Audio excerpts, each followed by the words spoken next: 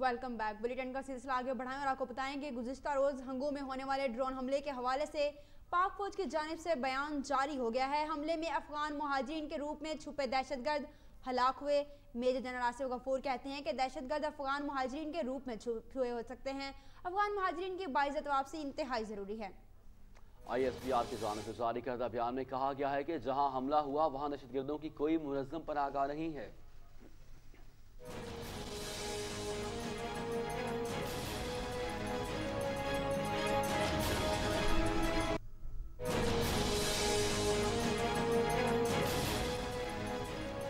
افغان مہاجرین کیمپ پر ڈرون حملے سے پاکستانی موقف کی تصدیق ہوئی ہے۔ D G I S P R نے مزید کہا ہے کہ چون افغان مہاجرین کیمپس میں سے تینتالیس خیبر پختونخوا میں ہیں۔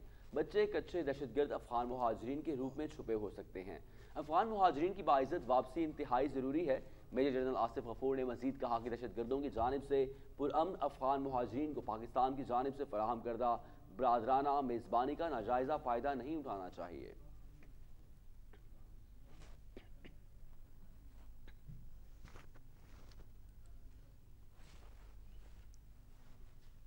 فورن سرسز اتاشیز کے وفد نے کور ہیڈ کوارٹرز پشاور کا دورہ کیا۔ جہاں انہیں دہشت گردی کے خلاف جنگ پاکستانی کوششوں کے حوالے سے بریفنگ دی گئی۔ آئی ایس بار کے مطابق فورن سرسز اتاشیز کے وفد کے دہشت گردی کے خلاف جنگ میں پاک فوج کے کردار اور فاٹا کی موجودہ سیکیورٹی صورتحال پر بریفنگ دی گئی۔ پاک فوج کے شعبہ تعلقات عامہ کے مطابق وفد کو فاٹا میں پاک فوج کے ترقیاتی منصوبوں سے متعلق بھی آگاہ کیا گیا اور انہیں علاقے میں امن بحال کرنے میں پاک فوج کے کردار سے متعلق بھی بتایا گیا۔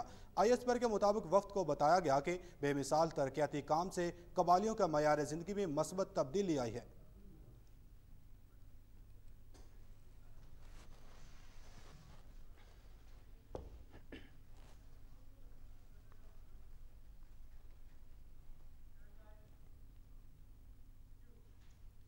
ترجمان دفتر خارجہ کا کہنا ہے کہ امریکی ڈرون حملے کے حوالے سے اپنے موقف پر قائم ہیں۔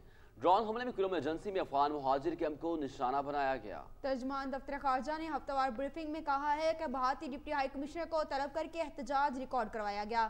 گزشتہ بحث بھارتی افواج نے سیز فائر معاہدے انیس سو ستر کی کئی بار خلاف ورزیاں کی۔ عالمی برادری مقبوضہ کشمیر میں انسانی حقوق کا خلاف ورزیاں بند کروائے۔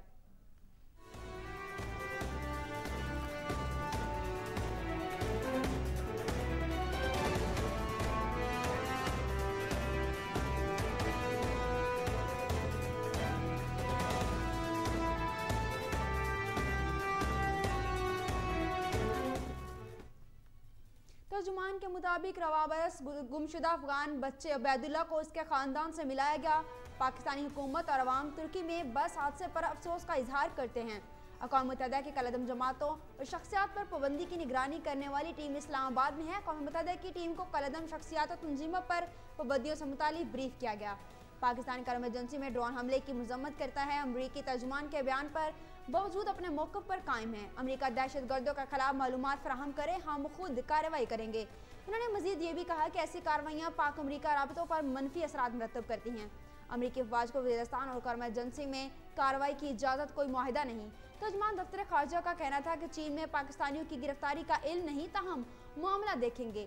ڈاکٹر فیصل نے کہا کہ بھارت کا مزاج تجربہ جارحانہ پالیسی اور امن کی بیانات میں تضاد کا عکاس ہے۔ بھارتی مزاج تجربے سے جنوبی ایشیا میں ہتھیاروں کا ڈور بھی اضافہ ہو گیا ہے۔ پاکستان اپنی حفاظت کے لیے سلامتی کی ضروریات سے غافل نہیں۔ امریکی نائب وزیر خارجہ جان سویلن کا بیان پر ترجمان دفتر خارجہ کا رد عمل۔ کہا کہ پاکستان نے ہمیشہ افغان مسئلے پر سیاسی حل کی حمایت کی۔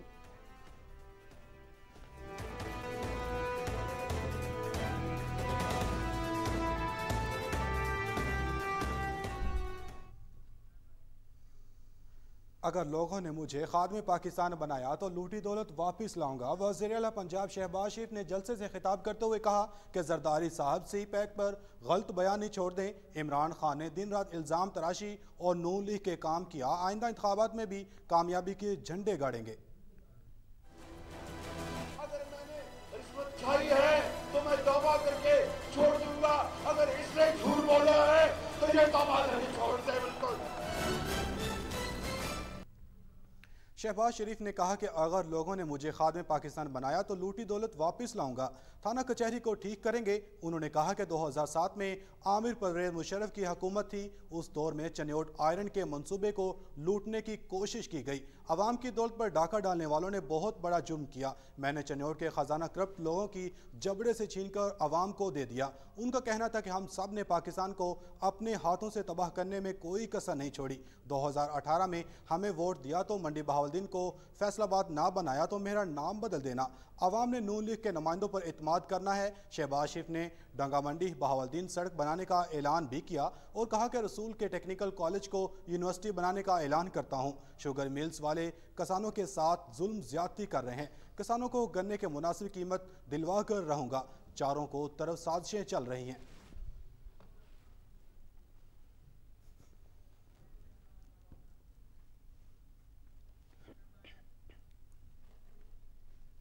پوری دنیا جانتی ہے کہ سی پیک کا آرکیٹیکٹ آصف علی زرداری ہیں۔ زینب کے افسردہ والد کے سامنے تالیاں بجوانے والا شہباز شریف ہی ہے۔ پنجاب میں قتل و غارت کا سلسلہ عام ہے۔ قاتل پکڑے ہی نہیں جاتے۔ رانما پیپلز پارٹی مولا بخشانیوں کا شہباز شریف کا خطاب پرد عمل۔ مولا بخشانیوں نے میڈیا ٹاک کے دوران کہا کہ چھوٹے میاں ہر بات کو ڈراما بنا کے پیش کرتے ہیں۔ زینب کی حوالے سے پریس کانفرنس بھی ڈراما تھی، وہ کیوں بھنگڑے ڈال رہے ہیں؟ ایسے واقعات تسلسل ہے لیکن پنجاب حکومت کی جانب سے اپنے گناہوں کو چھپانے کے لیے ڈراما کیا جا رہا ہے۔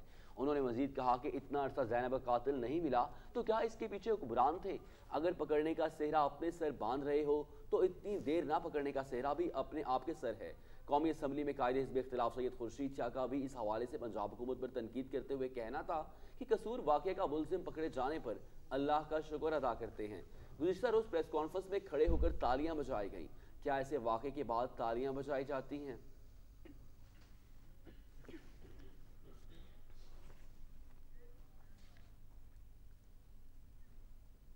شہباز شریف نے پیر سیالوی کو منا لیا۔ رانا ثنا اللہ کو ریلیف مل گیا۔ وزیر اعلیٰ پنجاب کی درخواست پر حمید الدین سیالوی نے احتجاج موخر کر دیا۔ وزیر قانون پنجاب چھ رکنی کمیٹی میں وضاحت پیش کریں گے۔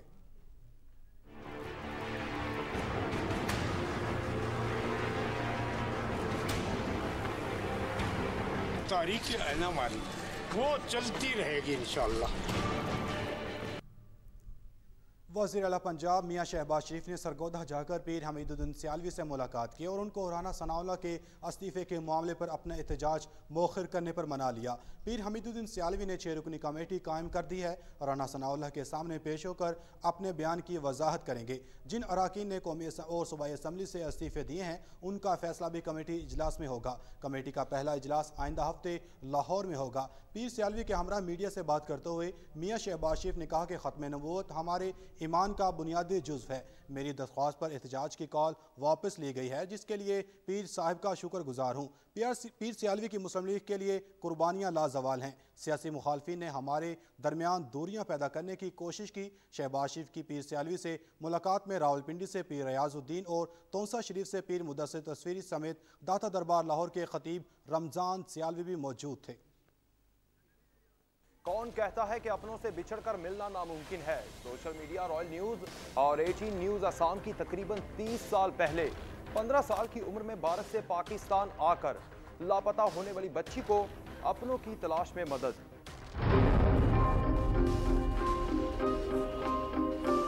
ہوئی ہوئی اس خاتون کو اپنا نام موبینہ یاد ہے، جبکہ بھارت میں اسے شناخت کرنے والے مومینہ کے نام سے بھی پکارتے ہیں۔ مومینہ اب پاکستان میں ضلع شیخو پورہ سے تقریباً چالیس کلومیٹر دور جنڈیالہ شیر خان میں شادی کر کے ہنسی خوشی اپنی زندگی گزار رہی ہے۔ اور اس کا کہنا ہے کہ یہ پاکستان میں بہت خوش ہے اور اسے یہاں بہت محبت ملی۔ مبینہ جو ہے میری جب جب سے میرا جنم ہوا تو میرے سے جنم سے پہلے کے یہاں پہ ہے۔ انہوں نے اپنے آبائی علاقے کی شناخت ایک پھول کی تصویر سے کی۔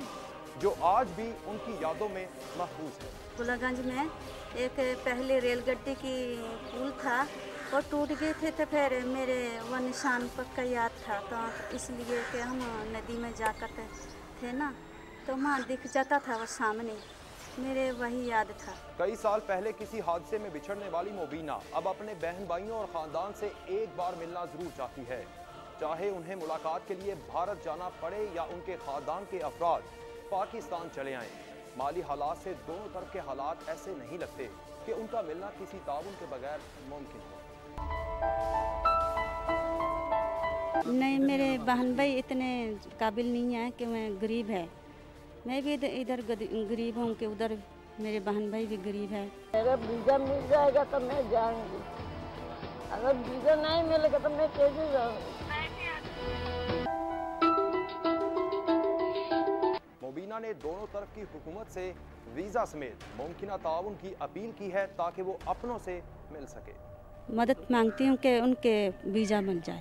میں اپنے ماموں سے ملنا چاہتی ہوں کہ ہمارے ماموں کو کہو ادھر آ جاؤ۔ سر جانا تو چاہیے اس کے بہن بھائی ہیں ماں باپ ہیں وہ ان کو ملنا چاہیے۔ یہ بات قابل ذکر ہے کہ وہ بھارت ہمیشہ کے لیے کبھی بھی نہیں جانا چاہتی۔ ان کا کہنا ہے کہ وہ صرف ملاقات کے لیے جانا چاہتی ہیں وہ بھی اگر ان کا بھائی خود پاکستان آ سکے تو زیادہ بہتر ہے۔ میں ملنے کے لیے جاؤں گی۔ میں ماں نہیں رہوں گی۔ میرے چھوٹے چھوٹے بچے ہیں کہ بچییں گے۔ Incharge editorial board Royal News Kamran Saki نے جو مومنہ کی فیملی سے وعدہ کیا وہ پورا کر کے دکھایا۔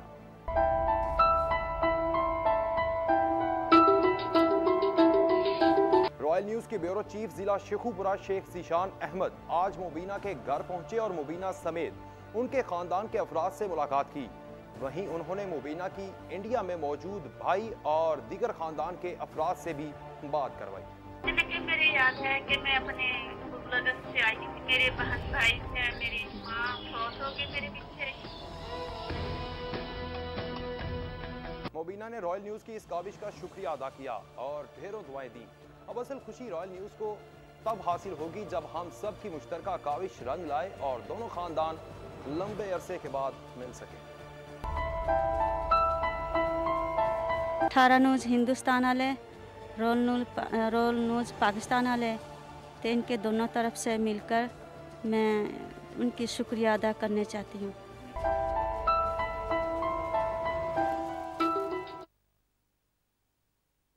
لاہور کے نجی ہال میں ایڈوکیٹ چودھری شاہد کمر کی طرف سے Chaudhry Fawad Aslam senior vice president Lahore bar کے اعزاز میں عشائیہ تقریب کا انعقاد کیا گیا۔ مزید جانتے ہیں رانا ظہیر کی اس رپورٹ میں۔ ان کا خیال یہ تھا کہ پرویز عنایت ملک بھی کمزور انسان ہے اور فواد رامے بھی کمزور کینڈیڈیٹ ہے۔ ہمیں پانچویں نمبر پہ یہ کنسیڈر کر رہے تھے پانچ کینڈیڈیٹس میں۔ ہم اللہ تعالیٰ ہم توحید پرست ہے اللہ تعالیٰ کی بادانی یقین رکھنے والے اس پہ ایمان ہمارا کہ دن رات ہم نے محنت کی ہم سے زیادہ پیسے لگانے والے۔ لاہور محکمہ سوشل ویلفیئر ٹریننگ انسٹیٹیوٹ کے زیر اہتمام تفریحی پروگرام کا انعقاد کیا گیا۔ بے سہارا اور یتیم بچیوں نے مختلف قسم کے کھیلوں میں حصہ لیا۔ مزید جانتے ہیں کامران خان کی اس رپورٹ میں؟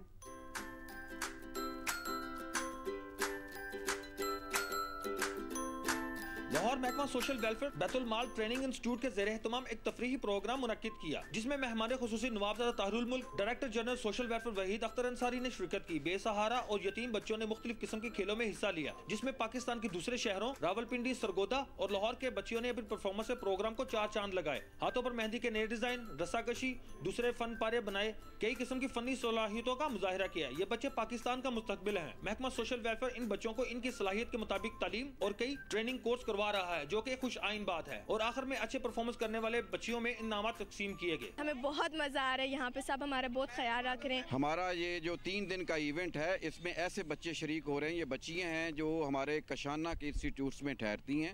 یہ وہ بچیاں ہیں جو یتیم ہیں یا بے سہارا ہیں۔ ہم ان کی یہاں پہ تعلیم ان کو شیلٹر ان کو فوڈ کا اہتمام یہ تمام ضروریات جو ہے وہ محکمہ سوشل ویلفیئر اپنے کشانہ کے انسٹیٹیوٹس کے ذریعے کرتا ہے۔ جو بچیاں ہیں، یہ محروم طبقات سے ان کا تعلق ہوتا ہے اور گورنمنٹ آف پنجاب ان کو شیلٹر ان کی فوڈ ان کی ایجوکیشن ووکیشنل ٹریننگ اور اس کے ساتھ ساتھ آپ دیکھیں کہ پوری گرومنگ کا ان کی پرسنالٹی ڈیولپمنٹ کے لیے سارا ہم اہتمام کرتے ہیں۔ چھبیس جنوری کو قومی اسمبلی اور سینٹ کے مشترکہ اجلاس میں انڈونیشیا کے صدر جوکو ووڈوڈو خطاب کریں گے۔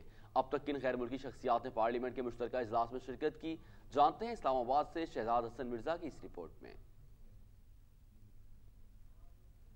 کو سینٹ اور پارلیمنٹ کا مشترکہ اجلاس ہوگا۔ انڈونیشیا کے صدر چھبیس جنوری کو پارلیمنٹ کے مشترکہ اجلاس سے خطاب کریں گے جوکو وڈوڈو سترویں غیر ملکی شخصیت ہوں گے، جو پاکستان کی قومی اسمبلی و سینٹ کے مشترکہ اجلاس میں پاکستان کی آئینی اسمبلی سے خطاب کریں گے۔ ان سے پہلے جن غیر ملکی شخصیات نے پاکستان کی قومی اسمبلی و سینٹ کے مشترکہ اجلاس میں شرکت کی اور خطاب کیا، ان میں شہنشاہ Iran Mohammad Reza Pahlavi, Philippines کے صدر دیوداس میگاپل انڈونیشیا کے صدر احمد سیکارنو، سری لنکا کی وزیر اعظم محترمہ بندرا نائکے ترکی کے صدر گیان ایورن، فلسطین کے صدر یاسر عرفات، فرانس کے صدر فرانسس میٹرانڈ، سپیکر مجلس شورا ایران حجت الاسلام مہدی کروہی، ایران کے صدر Ali Akbar Hashemi Rafsanjani, speaker مجلس شورا ایران، علی اکبر ناتے نوری، چین کے صدر جیانگ زمین، ملکہ برطانیہ ایزب دوئم، ترکی کے صدر طیب اردگان، چین کے وزیر اعظم لی گیا جنگ اور چین کے صدر جنگ پنگ شامل ہیں۔ ترکی صدر طیب رائل نیوز سے فی الوقت اتنا ہی، مزید خبروں اور تفصیلات کے لیے وزٹ کیجیے ہماری website Royal News dot TV اور دیکھتے رہیے رائل نیوز